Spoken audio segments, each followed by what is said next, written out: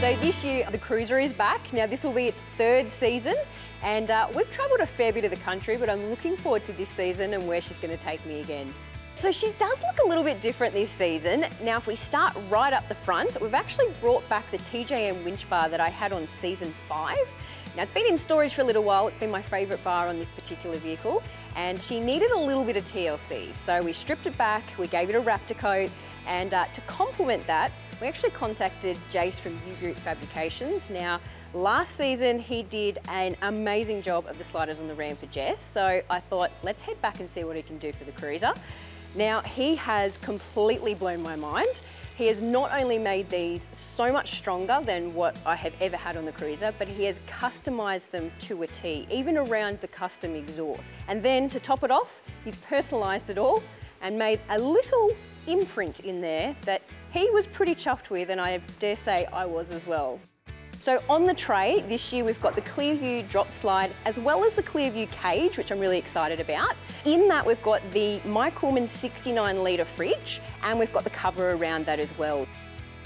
Now we've also got the tyre spider which makes putting tyre pressures up and down a complete breeze. Now all of that was fitted by the guys at 4 Drive Zone in Bathurst and I think that the setup we've got there is going to be really unique but also really really practical for on the road.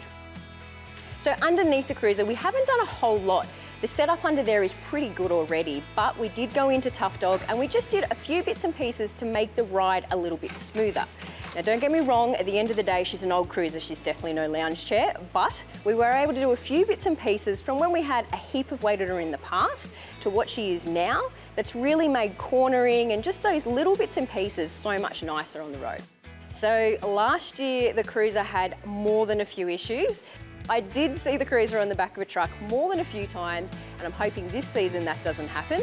Now, in order to do that, we put her into rehab. We sent her up to all 4x4 spares for a good solid week.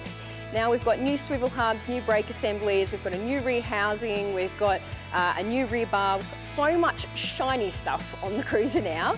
And I'm hoping that, uh, you know, everything's gonna come together now to top it off, the guys even put in a little bit of a special one.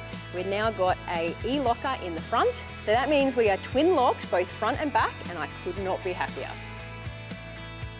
So this year we're running a great combination of Projecta and also Century batteries. The Cruiser has a pair of 105 amp hour deep cycle batteries on the rear tray covered by a very sexy little battery cover that Jace, again, a U-Boot whipped up. These batteries power the PM400 management system, which not only manages keeping all of the batteries charged, but it also acts as the Cruiser's electrical brain. We have set it up to control just about everything from the canopy lights and camp lights to the air compressor, and I can even control my lockers from the tablet that's mounted inside the cab.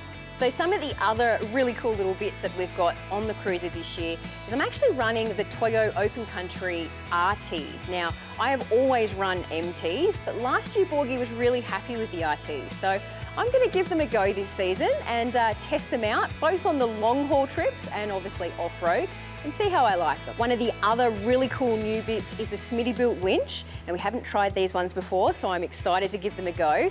And then we've also got the Sabre gear. Now this year, the guys have thought that I needed a bit more color on the car. So they've sent me some very colorful bits, including the winch rope to be able to get me out of any recovery or get Borgie out when need be. So performance-wise on the Cruiser, we really haven't done much, and that's actually a good thing. We spent a lot of time last season with the engine build, really going over and fine tuning everything, both for on-road, off-road, and I am so happy with where it's at. I do not want to touch it. It has been down to Berrima and had a bit of a once-over. They're happy with it, which means I'm happy with it, and I'm just going to keep driving her the way she is. So in the cab, we've changed the seat covers over to a really nice light canvas. So I'm hoping that that is probably going to stay that colour, but we'll see how we go.